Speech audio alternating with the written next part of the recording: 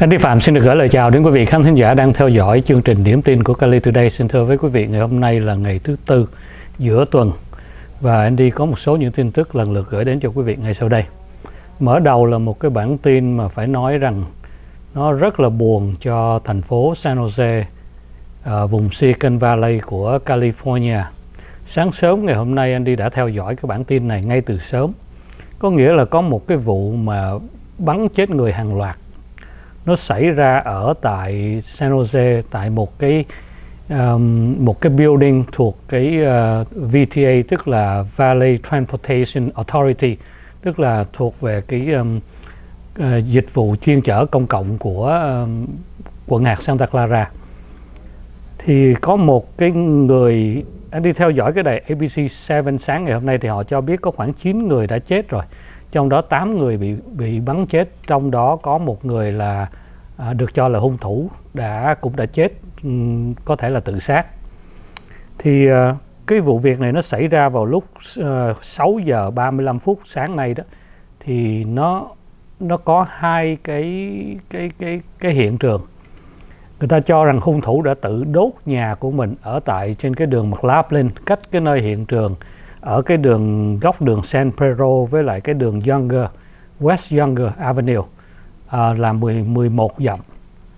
Thì ở đường McLaughlin thì đã phát hiện ra một đám cháy là một căn nhà đang cháy. Thì à, sở cứu hỏa họ tới họ dập lửa ở cái căn nhà này.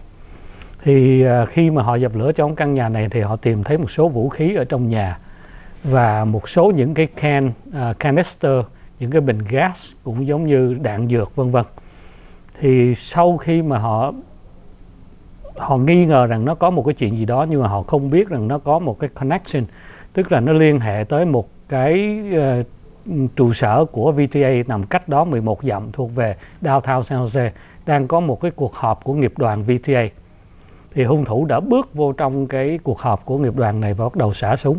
Thì cho tới bây giờ thì chỉ biết là 8 người chết và cả hung thủ nữa là 9 người còn người bị thương rất nhiều phải nói là thành phố San Jose bây giờ đang nằm trong cái tình trạng từ 6 giờ 30 mấy phút sáng và tới lúc anh đi lên đài này khoảng giữa trưa.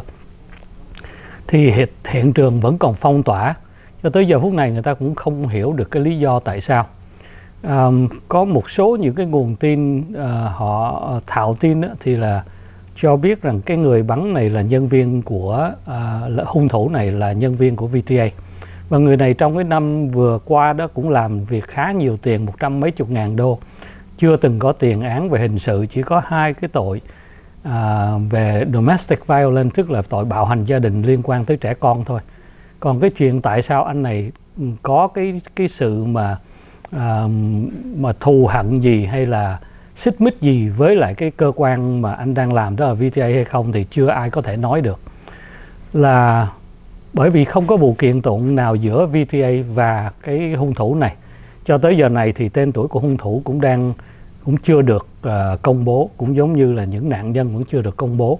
Và những người đang bị thương thì bây giờ vẫn chưa biết được là bao nhiêu người.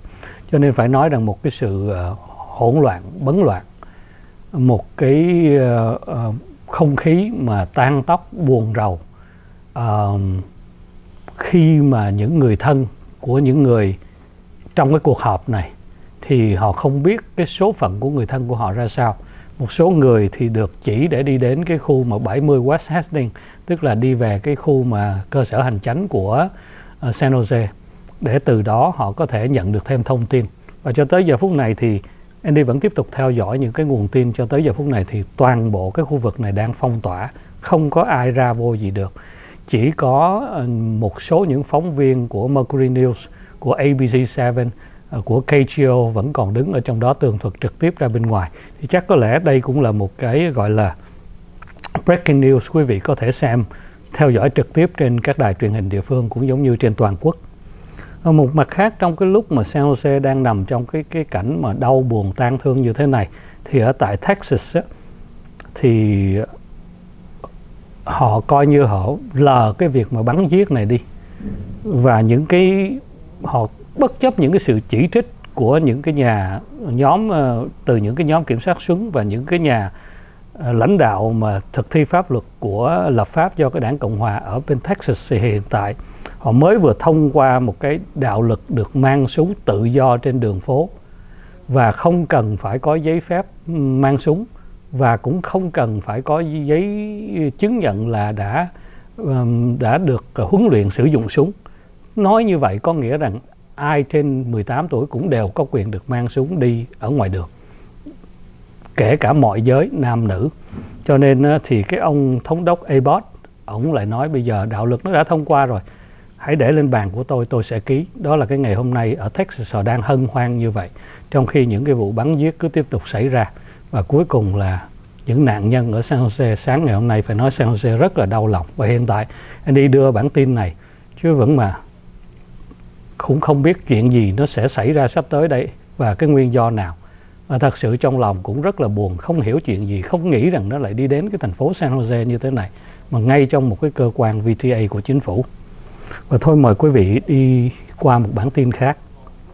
Đó, một cái bản tin đánh đi từ Sacramento của California thì cho biết rằng đa số người dân của California không đồng ý với cái nỗ lực mà trước phế thống đốc của đảng Dân Chủ là ông Gavin Newsom.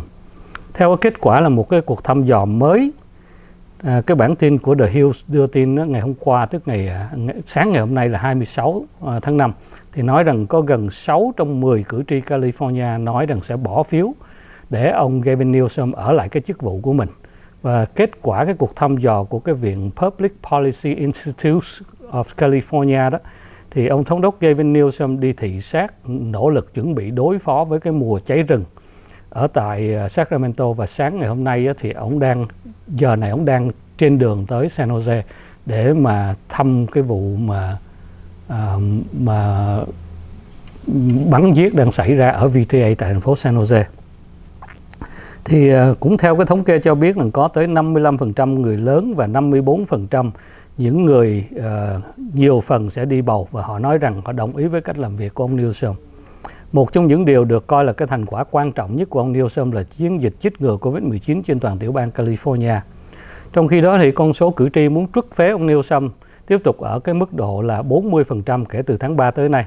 Con số phía đảng Dân Chủ ủng hộ cái việc này đã giảm 4%. Kết quả cuộc thăm dò của Public ờ, Policy Institute of California thực hiện hồi tháng 3 thấy rằng 15% người phía Dân Chủ ủng hộ cái nỗ lực đẩy ông Newsom ra khỏi chức thống đốc. Trên khía cạnh đảng phái thì kết quả thăm dò cho thấy 78% người phía Cộng Hòa và 47% người độc lập nói rằng sẽ bỏ phiếu trước phế ông Newsom. Nói chung là 40% người coi như chắc chắn sẽ đi bầu và nói sẽ bỏ phiếu trước phế uh, ông Newsom. Trong khi đó có 57% nói sẽ giữ ông trong cái chức vụ hiện nay. Những cái người chống ông Newsom nêu lý do là không đồng ý với chính sách thuế cũng như các biện pháp của ông đưa ra để ngăn ngừa lây lan dịch Covid-19. À, ờ, cái gì cũng phải có thời gian nó chứng minh quý vị. Đó là cái nói rằng cái chính sách thuế mà ông Newsom đưa ra cho tới giờ phút này thì quý vị thấy cái vấn đề thuế. Uh, mà chỉ trích ông Newsom đó nó có um, mấy vấn đề. Cái việc thứ nhất đó là cái vụ mà lùm xùm nhất là nói rằng ông Gavin Newsom đã chi cái tiền để mà giúp đỡ những cái người di dân bất hợp pháp. Và nói họ là những người mà Ờ, à, di dân bất hợp pháp thì tại sao phải cứu giúp họ? Là cái việc à, là chi tiền thuế của dân cho. Cái điều này anh đi giải, đã giải thích cho quý vị rất là nhiều lần. Họ là di dân bất hợp pháp nhưng mà họ có giấy làm việc trên đất nước Hoa Kỳ này. Đó là những đứa trẻ nó qua bên Mỹ này cùng với cha mẹ nó cường hồi còn nhỏ. Bây giờ nó lớn lên nó học trung học ở đây học đại học ở đây nó đang đi làm việc ở đây nó không nhưng mà nó vẫn không có thẻ xanh. Nhưng mà nó vẫn đi làm việc nó vẫn đóng thuế còn những người đi làm theo vụ mùa thì ừ, ở California quý vị nước biết là đồng ruộng nó mênh mông cây trái mênh mông.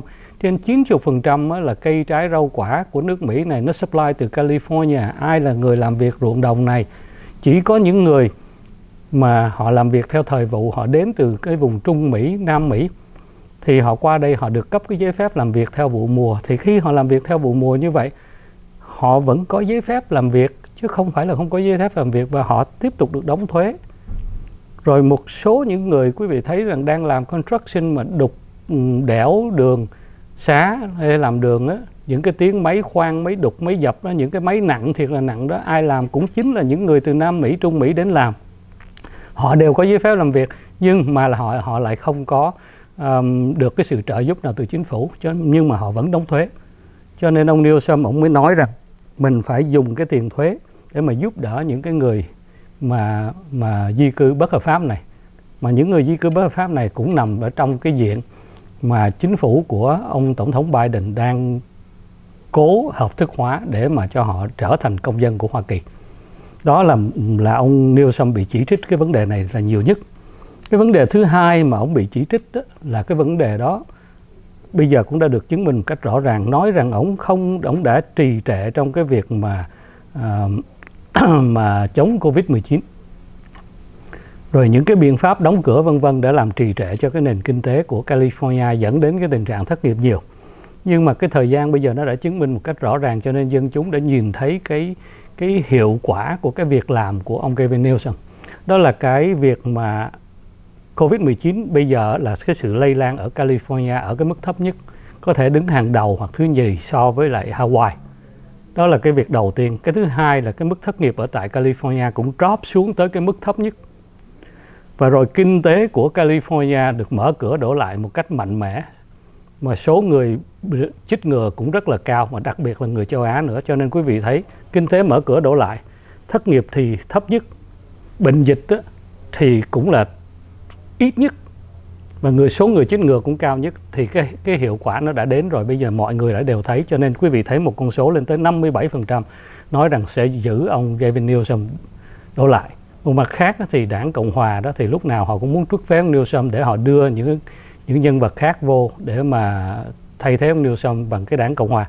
Nhưng mà quý vị thấy tới ba nhân vật hoặc là tới bốn nhân vật, thậm chí tới năm nhân vật ra chia phiếu thì chắc chắn không thể nào mà có thể mà trước phế ông Newsom được cho nên cái vấn đề này cũng là một vấn đề mà rất là quan trọng mà ngày hôm nay thì quý vị thấy cái bản thống kê của California rất rõ ràng còn về cái việc mà à, một cái cột mốc lớn nữa của Hoa Kỳ về vấn đề chích ngừa đó thì à, cái dữ liệu cho thấy là phân nửa tức là khoảng 50% những cái người thành niên ở Hoa Kỳ đã chích ngừa chống Covid-19 tức là một nửa dân số. Cái dữ ờ, kiện của CDC cho biết chích ngừa đầy đủ là hơn 129 triệu người thành niên. Đây là cái dấu mốc lớn trong cuộc chiến chống lại đại dịch hiện đã làm chết hơn 590.000 người tại Hoa Kỳ. Tính chung khoảng 39% tổng số dân Mỹ đã chích ngừa đầy đủ hai mũi, với gần phân nửa là chích ít nhất một mũi chích ngừa.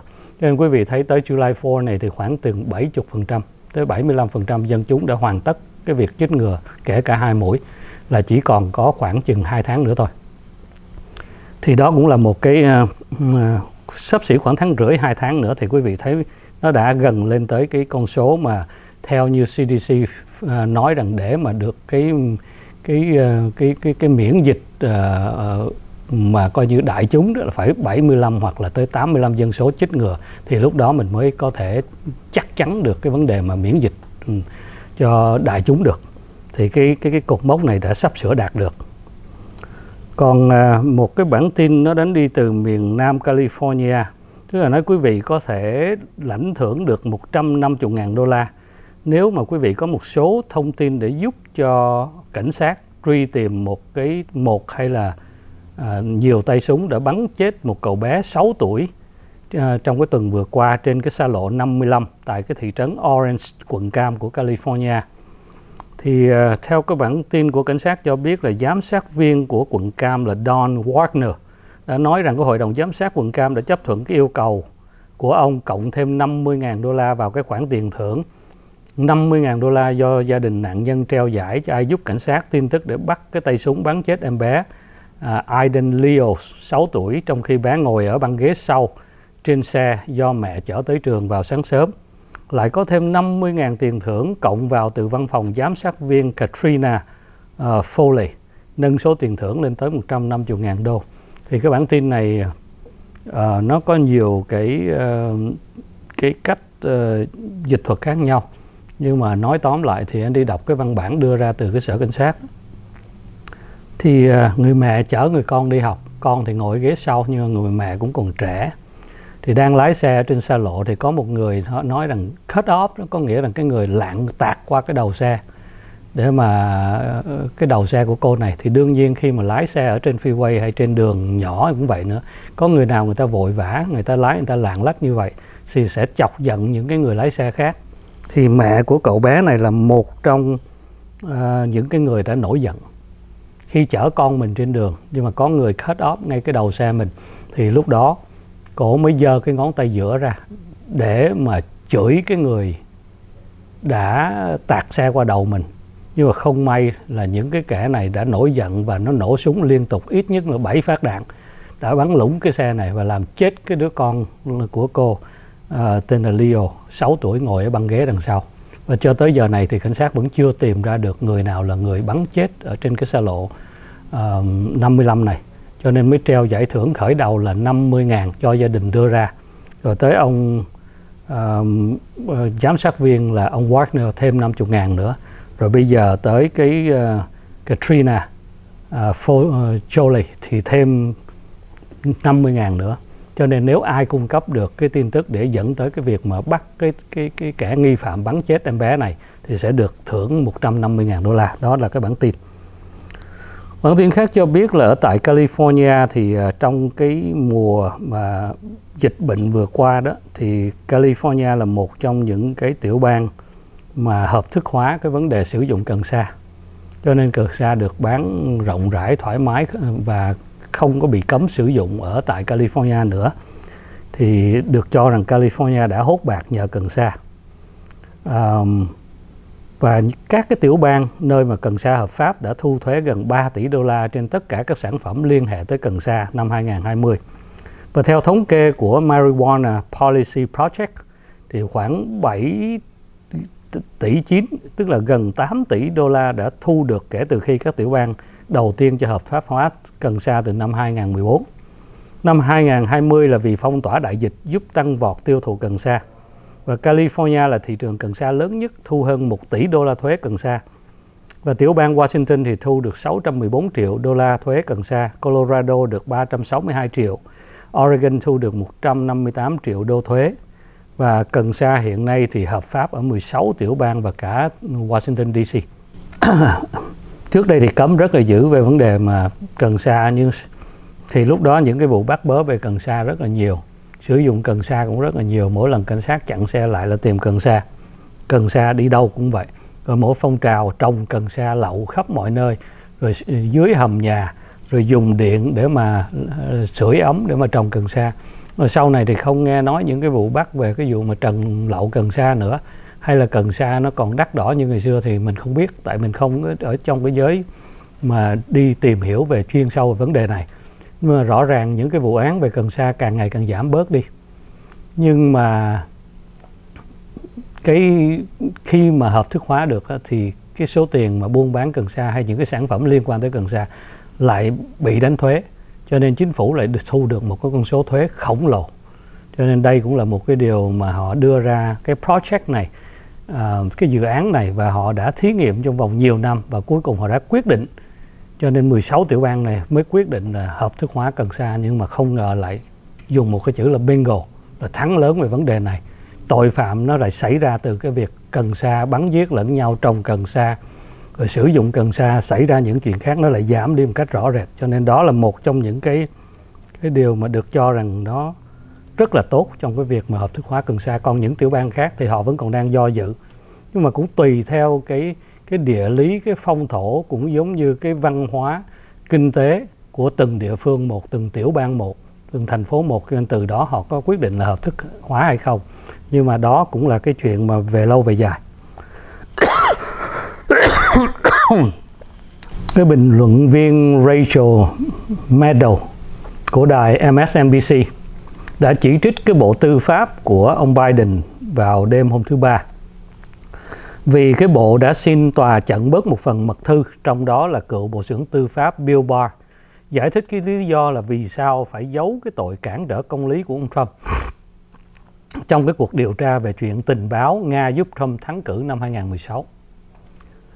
Maddow đã nói rằng Biden và Bộ trưởng Tư pháp Merrick Garland đang tiếp tay cho Barr giấu tội cho Trump khi đòi tòa ém nhẹm cái mật thư kia.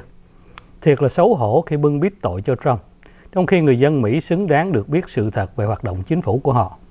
Xuyên qua cái hồ sơ của Bộ Tư pháp của Merrick Garland nộp cho tòa hôm qua, lộ rõ rằng Bộ Tư pháp chính bộ tư pháp này của Biden đang bò lanh quanh và cào cấu về cách họ nói lung tung và rất là tội nghiệp vân vân và vân vân. Thì cái bản tin này đó là một cái bản tin mà trong mấy ngày hôm nay thì các hãng tin họ cũng khai thác cũng khá nhiều. Nhưng mà bây giờ để tự trung lại một cái vấn đề là nếu như ông Trump ổng có tội cản trở về công lý, về điều tra, rồi có tội về cái việc mà dính líu vào cái việc mà Nga dính líu vào cái việc giúp cho ông Trump để mà thắng cử, thì tại sao bên Bộ Tư pháp của chính quyền ông Biden lại không đưa hẳn ra. Trong đó nó có 9 trang mà chỉ có công bố ra chỉ có một trang hồ sơ mật này thôi còn giấu lại 8 trang. Cho nên câu hỏi được đặt ra là tại sao không tung hẳn ra luôn? Và chính cái mát đầu này có nói rằng dân chúng Hoa Kỳ xứng đáng được biết cái sự thật về hoạt động của chính phủ của họ đúng như vậy. Nhưng mà cho tới giờ này quý vị vẫn chưa thấy bất cứ một đài nào giải thích được cái lý do này, kể cả chính phủ cũng nói lanh quanh. Như vậy thì những cái dự dự đoán thôi nha. Có nghĩa rằng những cái họ đoán rằng tại sao mà trong 8 cái trang giấy giấu đi trong cái bộ hồ sơ 9 tờ, thì tại sao 8 tờ đó giấu đi? Có thể là nó có những cái bí mật về quốc gia. Mà khi nếu nó công bố ra như vậy thì nó sẽ gây cái sự liên hệ mà nó gây những cái hậu quả rất là lớn cho chính phủ của Hoa Kỳ. Và được một cái lợi trước mắt là có thể rằng cái tội ông Trump chăng? Nhưng mà nó có những cái hại khác về vấn đề mà cho quốc gia của Hoa Kỳ. Đó là vấn đề thứ nhất. Vấn đề thứ hai là có những kẻ liều mạng nữa. Cho nên quý vị thấy chẳng hạn như cái thời ông Trump, ông làm tổng thống thì đương nhiên ông nắm hết những bí mật quốc gia. Quý vị còn nhớ cái tay mà Snowden đó, ngày xưa cũng nắm được rất là nhiều cái bí mật của quốc gia, sau đó tung ra tố cáo Mỹ, vân vân rồi mới coi như là phải sau đó phải phải tị nạn ở ở tại Nga. Trốn ở bên đó sau đó cha của ông Snowden này phải năn nỉ chính phủ Mỹ để mà uh, giảm tội đi rồi rồi kiểu giảm án để cho Snowden khỏi phải sống lưu vong trở về lại. Thì bây giờ một lần nữa cũng sợ những cái tay nào đó cũng liều mạng y như Snowden này. Rồi lại tiếp tục tung những cái tin tức ra đó là gây hại cho nước Mỹ.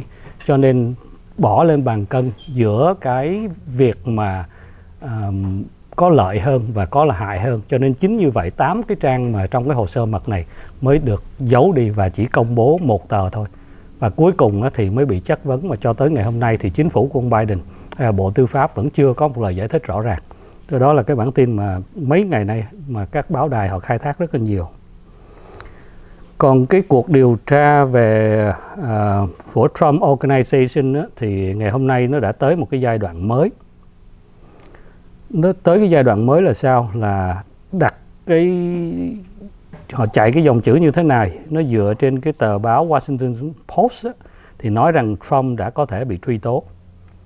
Và bởi vì biện lý khu vực Manhattan là Cyrus Vance Jr đã triệu tập một cái bồi thẩm đặc biệt để xem xét có thể truy tố Donald Trump và các viên chức của Trump Organization hay không. Nếu mà không truy tố thì triệu tập mà bồi thẩm đoàn làm cái gì? Mà cái này là một đại bồi thẩm đoàn. Và cái nguồn tin của tờ, cho cái tờ báo WP biết rằng đại bồi thẩm đoàn sẽ họp ở tòa 3 ngày một tuần trong vòng 6 tháng. Hãng thông tấn AP cho biết là Vance sẽ dùng đại bồi thẩm đoàn điều tra xem có phải là Trump trốn thuế hay là không và có phải là đã thổi phòng trị giá tài sản để vay ngân hàng hay không. Và biện lý hiện thời cho biết đã chuyển từ cái vụ điều tra là vụ kiện dân sự chuyển sang cái vụ truy tố hình, hình sự. Mà quý vị còn nhớ cái bản tin ngày hôm qua đi gửi đến cho quý vị là Trump bây giờ có thể trên cả chục cái vụ án mà dân sự rồi.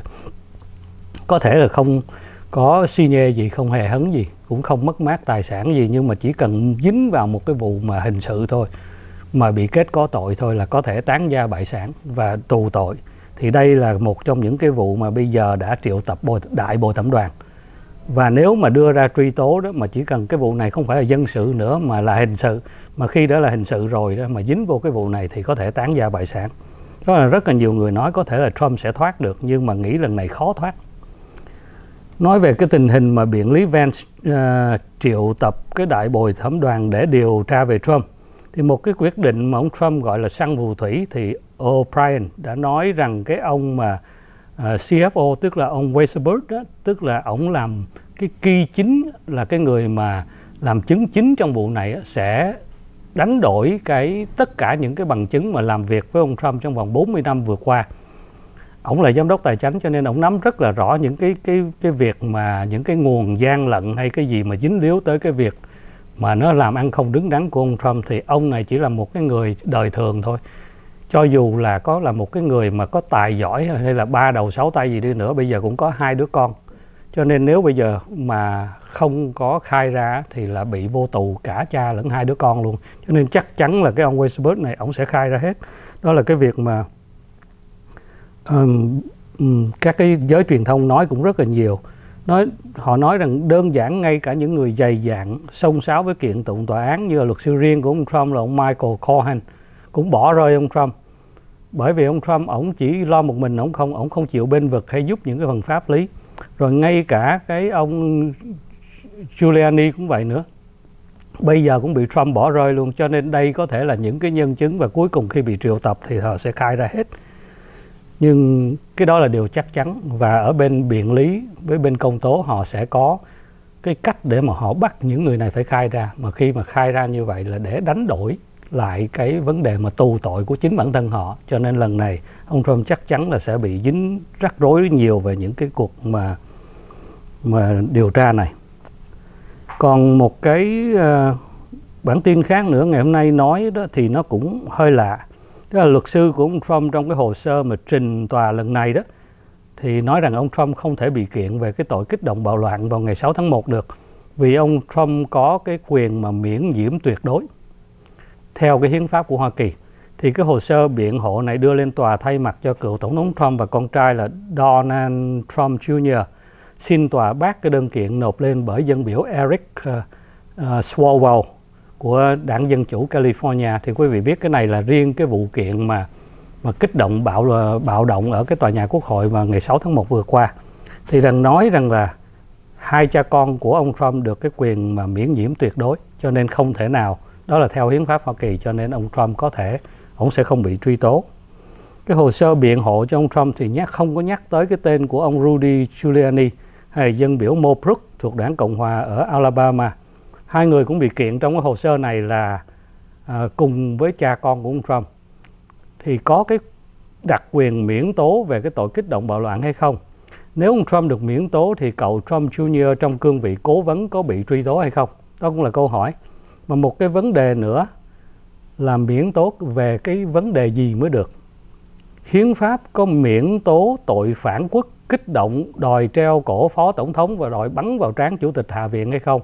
Cái đó là cái quyền miễn nhiễm, đó là cha con của Trump chưa chắc đã có được, chứ đừng nói tới Giuliani hay là Mobrook cho nên đó là một bản tin ngày hôm nay cũng được phân tích rất là nhiều.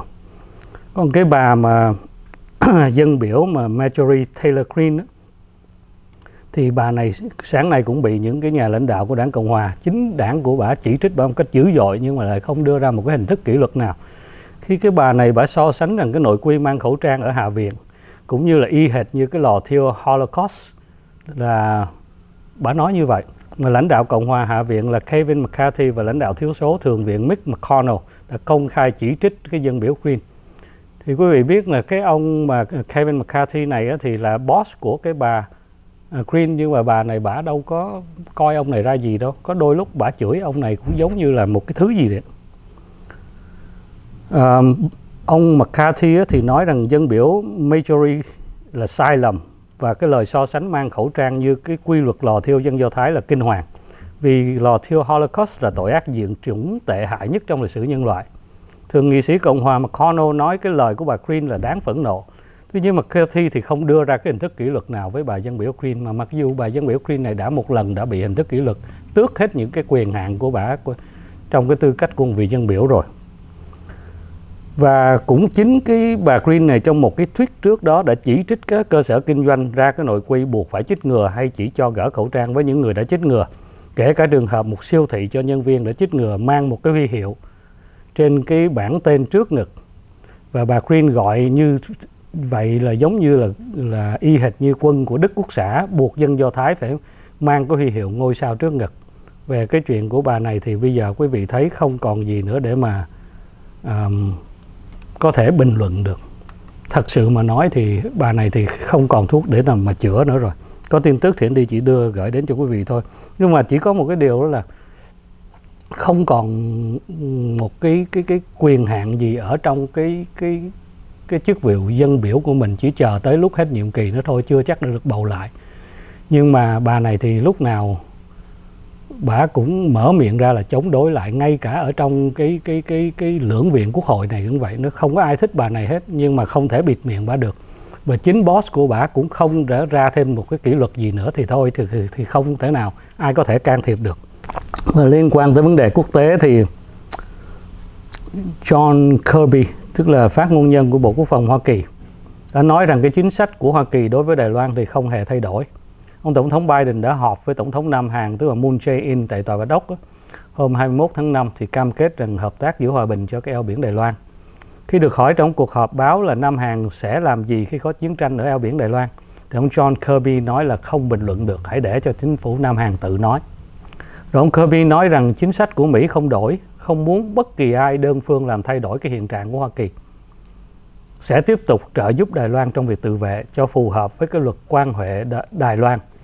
Ba tuyên bố và sáu bảo đảm viết bằng tiếng Mỹ là in accordance with the Taiwan Relation Act, the three communique and the six assurance thì cái điều này là sáu ờ, tức là ba tuyên bố và sáu cái bảo đảm này thì trước giờ Hoa Kỳ đã bảo đảm cho Đài Loan như vậy những cái lời hứa và những cái sự bảo đảm cho Đài Loan cho nên không có gì thay đổi.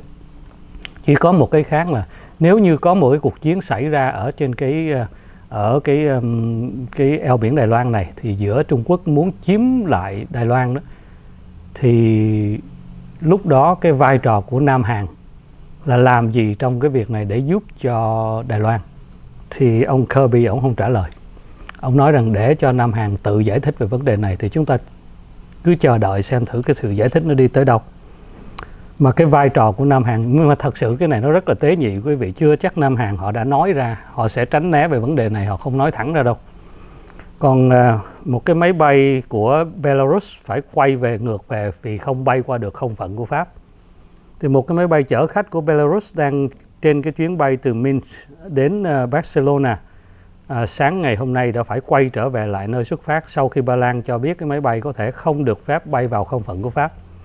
Cái hãng thông tấn Reuters cho biết theo cái dữ liệu của trang web uh, Flight Radar 24 và các nhà lãnh đạo Liên minh châu Âu đó thì chỉ thị cho các quan chức đưa ra các biện pháp trừng phạt mới đối với Belarus và không cho các hãng hàng không Belarus bay vào không phận của châu Âu. Tiếp sau theo sau cái vụ mà Belarus đã ép một cái máy bay của hãng hàng không À, Ryanair phải hạ cánh xuống Minsk để họ bắt một nhà báo bất đồng chính kiến trong cái chuyến bay này.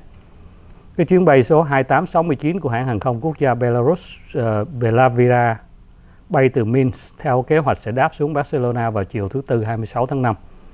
Và ông phi công của chúng tôi đã được thông báo rằng không phận của Pháp đã bị phong tỏa, vân vân. Và ông có thể gặp vấn đề khi bay vào không phận Pháp.